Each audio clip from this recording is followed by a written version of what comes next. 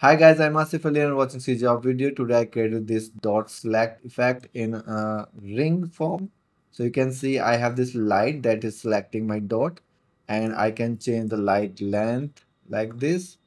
I can increase the brightness of this and I can change and I, I have also colors uh, control. So let's start this tutorial.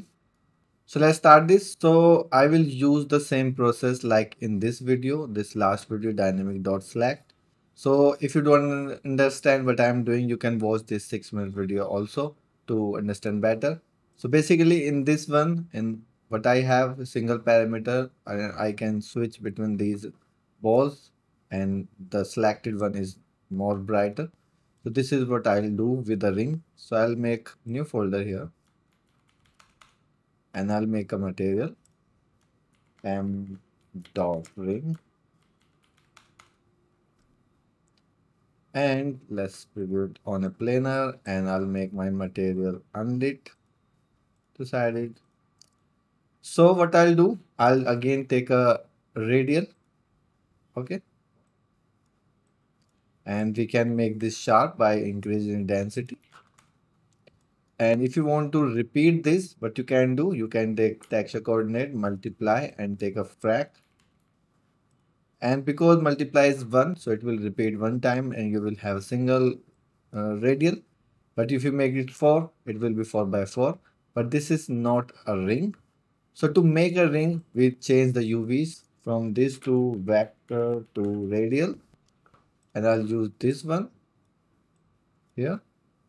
I'll delete this so now you have this, but again, same kind of thing. Let's say you have 28.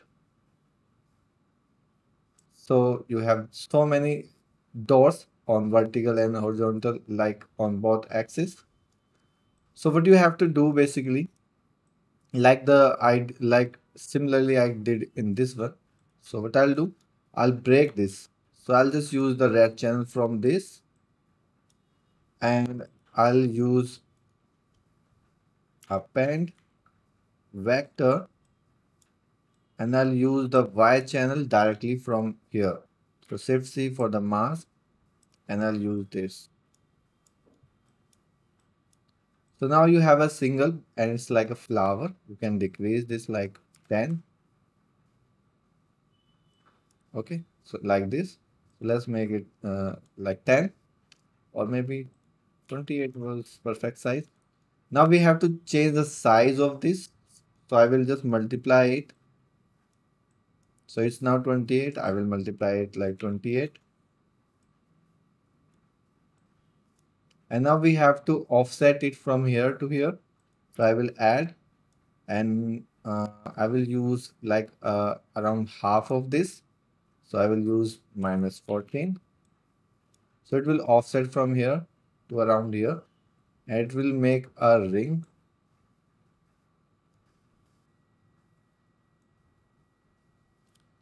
So let's say at this value you have the perfect circles. And you can increase or decrease uh, number of circles from this. And now what I want is, uh, let's say I want uh, to select these circles like I, I was selecting these uh, circles here. So what I'll do, I'll use uh, because we are using a ring so I will not use this I will use this again. So I'll use this angle distance and if I preview this is how it looks. And to offset it I will add and let's make a parameter. Let's call it select. And again uh, to repeat this I'll use a frac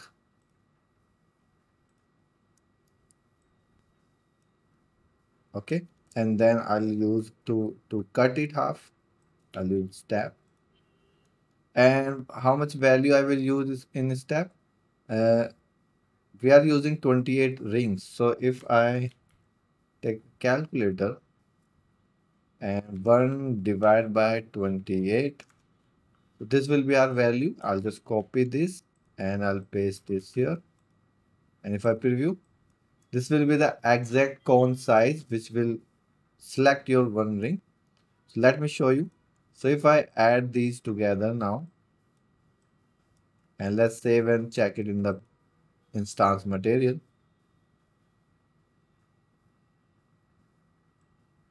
So I will make an instance of it. And see, it's perfectly selecting one ring. And if I change the value, but now it's again cutting half. So we have to do something, some math. So it will just snap to the another, uh, uh, another, uh, the next circle. So here we will do the same math we did in this tutorial. So I highly recommend to watch this one also. So for this value, I will divide it with the same value, this one. And then take the round of this. And then I will multiply the same value. And then connect it here. Let's save it.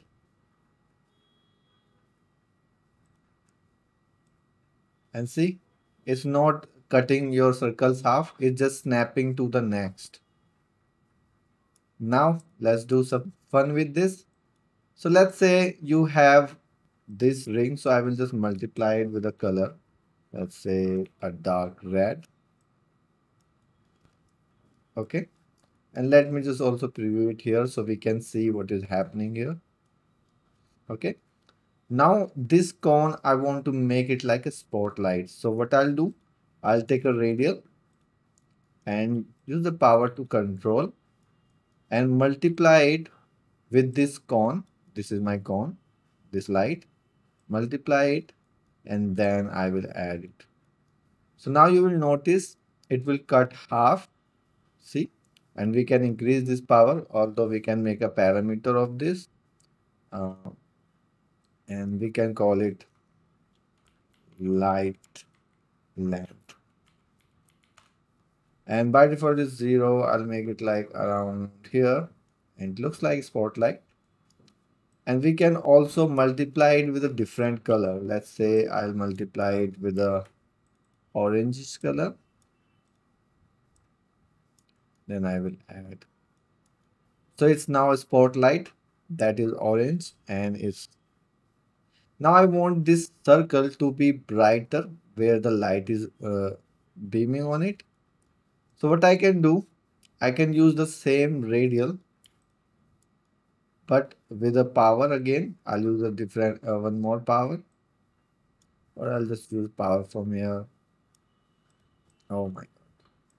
This then I will saturate it and use a Lerp. So with this, because this is beam, so it's black from here and white from here. So I have a Lerp that I that I will uh, that give me the uh, the the channels, uh, the black and white thing. And let's also multiply it with this to mask it out. So if I preview now, let's see what we have. So we have this basically. Okay? So now we have this red color. So I want to make it bright. So what I'll do uh, let's these all thing here. Okay. So this red color I will use here on the on this. And let's preview it and see what happens.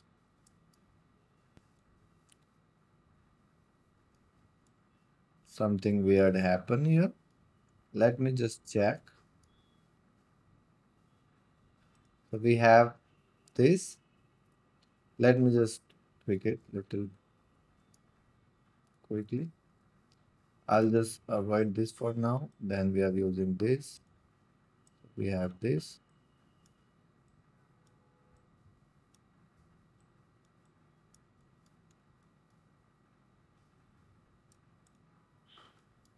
We have this. Let's use from here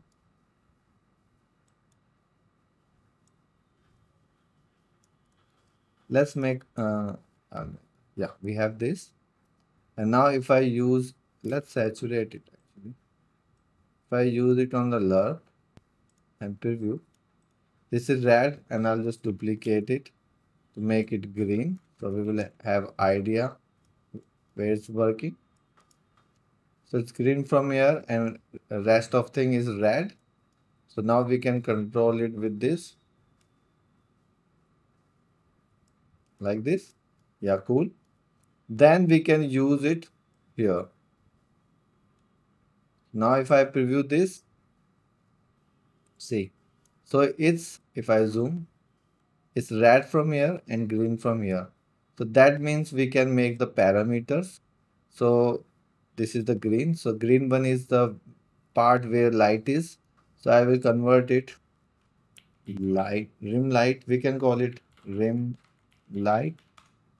And this is actually the um, dot color. And we will make this also a parameter and control uh, dot light. So we have all the parameters. Let's save it. And now we will control it. So we increase it. And now this one, this green one, I will make this also red, but brighter, maybe 100 or maybe 500. Let's say 100 is enough. And now with this control, we can see how much control we need.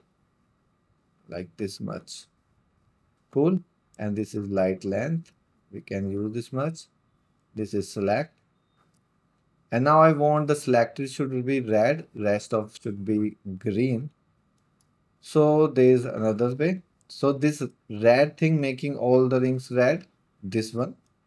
So what I'll do, I'll use a lerp here again and I'll use this tap but I'll use the saturate because this tap is a cone which is selecting my rings with my dots so I'll do it here on the white part where my selection is I want my red color and non-selected should be green